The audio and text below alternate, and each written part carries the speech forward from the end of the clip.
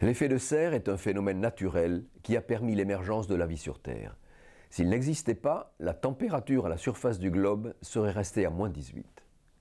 Comme pour la serre du jardinier, l'enveloppe atmosphérique, transparente, laisse passer les rayons du soleil et les pièges.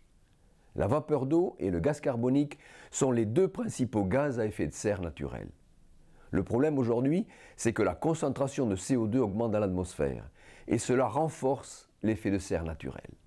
En un siècle, le taux de gaz carbonique est passé de 285 avant l'ère industrielle à 385 aujourd'hui et ce chiffre continue de croître.